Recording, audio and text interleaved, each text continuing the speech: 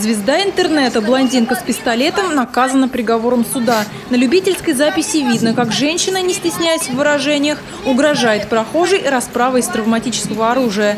Сотрудники правоохранительных органов внимательно изучили материалы дела и сочли, что конфликт был мелким хулиганством. Виновница ссоры, предпринимательница из Иванова, отделалась штрафом в 500 рублей. Дополнительным наказанием для автоледи стала дурная слава, которую ей принес ролик, размещенный в сети. Словосочетание «блондинка с пистолетом» прочно закрепилось в лексиконе горожан.